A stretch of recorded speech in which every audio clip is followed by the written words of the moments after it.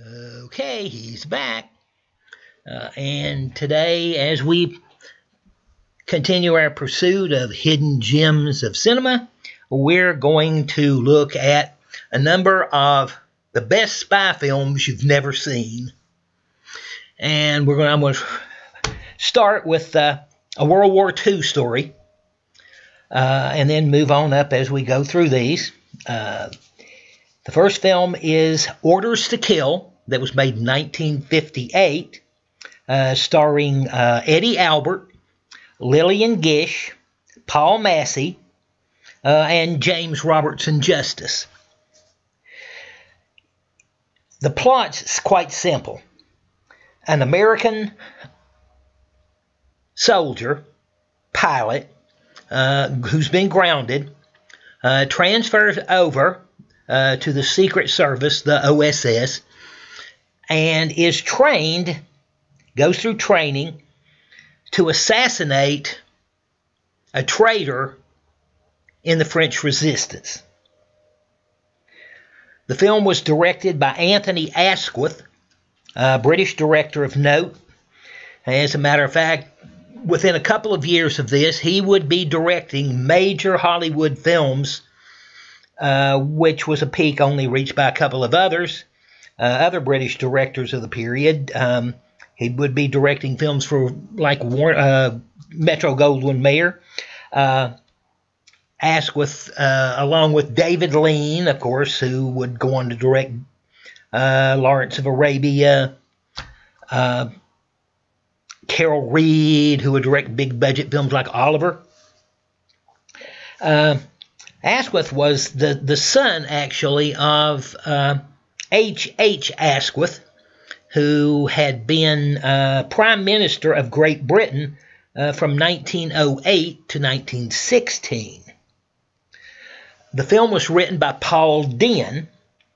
Uh, was a very interesting character who had a particular insight into the subject matter uh, that the film is, is, is based on or deals with.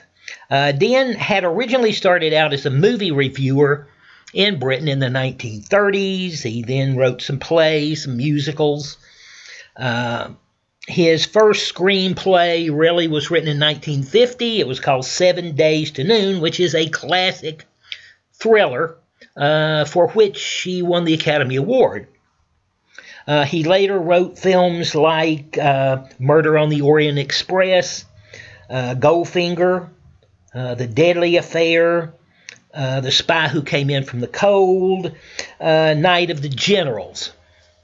But the interesting thing about Dehn also is that during the Second World War, Dehn was one of the chief instructors at what was called Camp X. Camp X was where was was built in Toronto, in Canada, a site there, and was where the special operations executive of the British military uh, trained their commandos. And Paul Dehn was not only one of the chief instructors there, he wrote the manual that they used for training. Um, as I said, the film deals with uh, the character, the central character, the pilot, who's being trained to assassinate uh, this French resistance individual, this guy within the French, uh, the French resistance, and um, as he got, as the Massie character goes through the training, he begins to doubt the validity of what he's doing. And so the film itself deals with the normal average elements that you would find. It's it's very stark. It's an atmospherically photographed film, much like uh, The Third Man.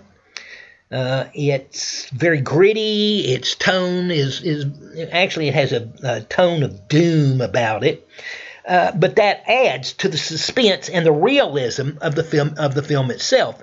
It's a it is a really good edge of the seat traditional thriller.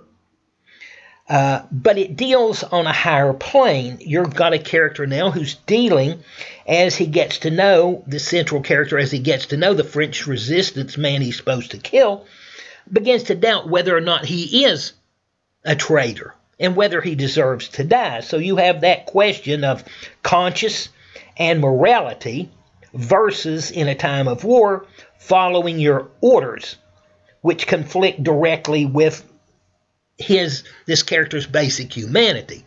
So it takes it to a different level. Eddie Albert plays the handler who's in charge of training the guy and is excellent. He, he brings a really excellent quality to that, a real a realistic quality to it. Massie is exceedingly good playing the conflicted character. Irene Worth, a British actress, plays a uh, his Massie's French resistance contact, uh, who is presu- who's upset and distraught over the death of her son at the hands of the Nazis. So she's pursuing a her own particular course of revenge, which plays contrary to everything going on. Uh, nicely done film, excellently ex- executed, excellently acted. But as I said, it's a hidden gem. It's rare. The Brit, the Brits right now are in England. You they have a new DVD out of it. It plays occasionally on channels like Turner Classic Movies. So if you get a chance, you need to watch Orders to Kill, uh, and let me know what you think. Uh, let me know if you if you have seen it, if you agree with what I say. Uh, ask questions, discussion points. Um, I appreciate your uh, listening to this, and we'll discuss the next film in this best film spy films you've never seen uh, later. And I do appreciate everything, and thank you.